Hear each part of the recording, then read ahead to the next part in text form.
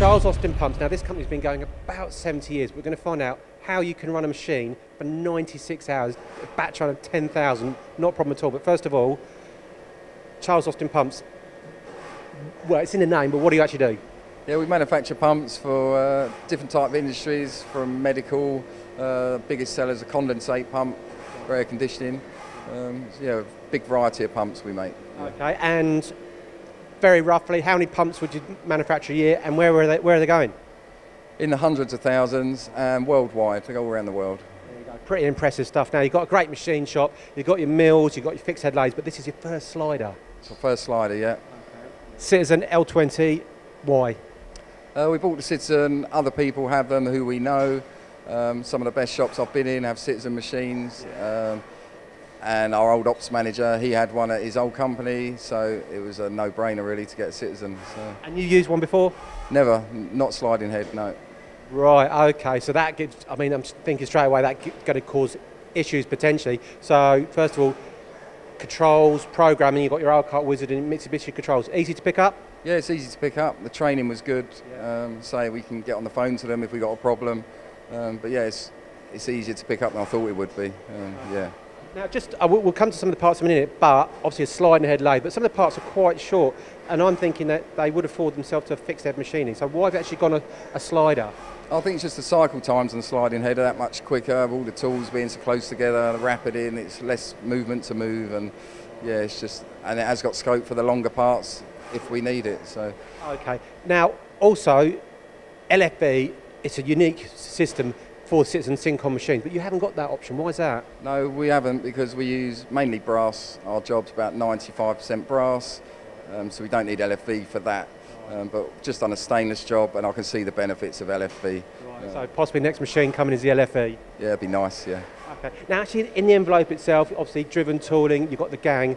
Easy to set, easy to use. Yeah, it's easy to set. It's quite tight on this machine, um, but yeah, once once you're in there, you're in there. It's quite easy to do. Um, yeah. In terms of the envelope itself, tooling wise, spindle wise, what have you got going on in there?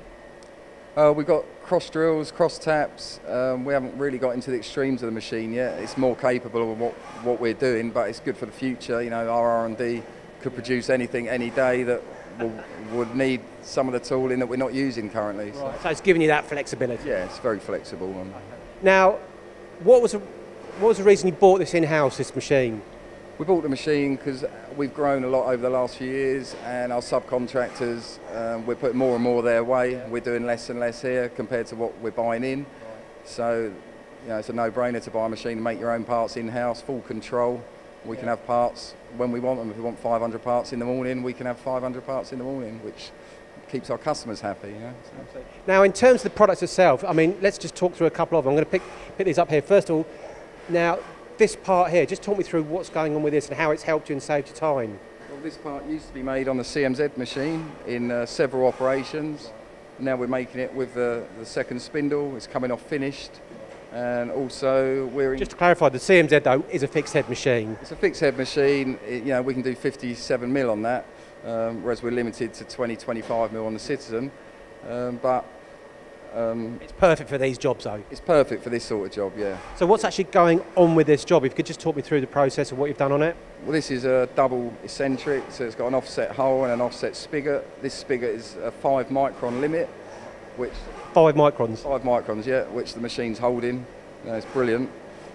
Um, yeah, and they're coming off in one finished, whereas before it's three operations to get to this stage. Right, in terms of cycle time then, I mean obviously excluding the operator intervention and keeping the tolerances, what sort of time, is the cycle time reduced massively? Yeah, we're halving our cycle times or, or better on some jobs.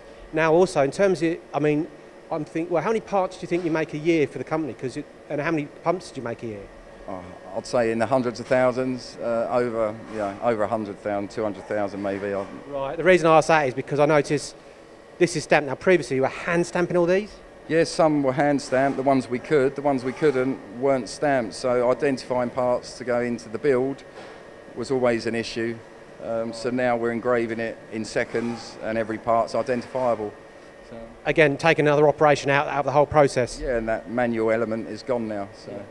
Brilliant, absolutely brilliant. So that's one part. So that's your five micron. Yeah. Now, I mentioned right at the beginning, you, you ran well, talk us through this this component, batch run, and how long you actually ran it for, please. Batch, this was a 10,000 batch, and it was our first job on the machine. Right. So we eased into it, started running it longer at night.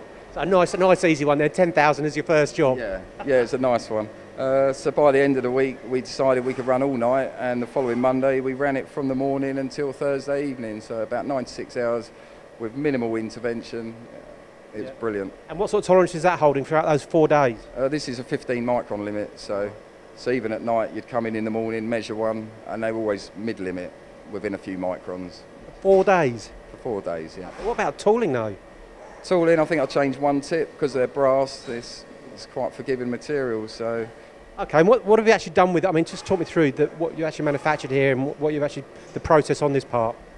Well, this is turned, uh, drilled off centre. It's then picked up and um, finished on the back after the cross drilling, tapping, uh, and the engraving. And one, yeah, engraving again, but I noticed this, this, uh, this hole here is, is off centre as well, is that Yeah, right? it's off centre. Yeah. Yeah, that's Again, no problem in terms of machining on the, on the Citizen no, Cincom. easy, easy on the machine. It's, it's all there on the Wizard. It's So having the Wizard, the Mitsubishi controls makes it all nice and simple. yeah, yeah, very easy to use, uh, easy to program. So yeah. So it is your first Citizen Cincom machine, your first sliding head Yeah. overall, and how have found it? Yeah, it's been a brilliant machine. Uh, easier to use than I thought it would be. Um, performing brilliantly. After sales been good. Apps guys have been great. Couldn't ask for more really.